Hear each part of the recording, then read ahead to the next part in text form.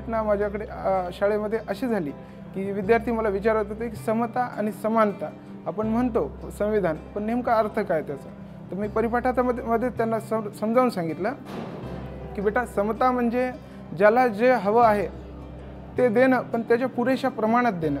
आणि समानता म्हणजे सर्वांना सारखं देणं. मग हे समजावून सांगताना मी खिचडीचं उदाहरण दिलं शाळेतल्या. शाळेमध्ये आपण जेव्हा खिचडी वाटप करत असतो प्रत्येकाला समान खिचडी दिली जाते.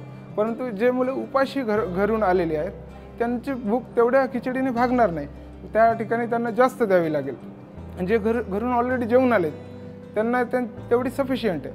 तर मग या ठिकाणी मग याच मूल्याचा उपयोग मुलांनी प्रत्यक्ष वर्ग अध्यापनात मला फायदा झाला. का? की जे अभ्यासाच्या दृष्टीनं मागं राहिलेले विद्यार्थी आहेत मी विद्यार्थ्यांना सांगत होतो आपल्याला यांच्याकडे आता लक्ष देणं भाग आहे. मग त्यांना बाकीच्या गत गतीच्या मुलांसोबत येण्यासाठी आता हे मुलेसुद्धा प्रयत्न करू लागले आहेत. मग या समतेचा उद्देश वर्गाध्यापनामध्ये सुद्धा मला या दृष्टीने झाला. आम्ही विद्यार्थ्यांमध्ये गटचर्चा घडवून आणली. आम्ही एक इंग्रजीच्या प्रश्नांची एक यादी केली. पन्नास प्रश्न आहेत जवळपास. ते पन्नास प्रश्न कॉमन आम्ही सुरुवात सुरुवातीला प्रत्येकाला दोन दोन तीन तीन जे त्यांच्या हिश्श्याने येतील तसे प्रश्न दिले. मग आजच्या दिवशी या प्रश्नांची तयारी हे विद्यार्थी करतील. आणि आज माझे समजा माझ्या वाट्याला तीन प्रश्न आलेत. तर सहकारी जो आहे त्याचे तीन प्रश्न तो सहकारी या सहकार्याला शिकवेल आणि हा हा सहकारी त्या सहकार्याला शिकवेल.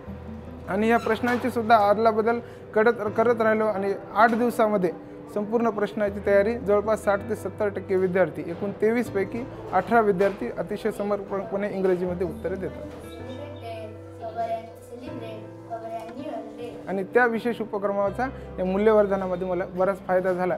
आणि प्रत्येकच मुलं शिकू लागले आणि आता मला गॅरंटी आहे की काही दिवसातच शंभर टक्के वर्गसुद्धा प्रगत होईल.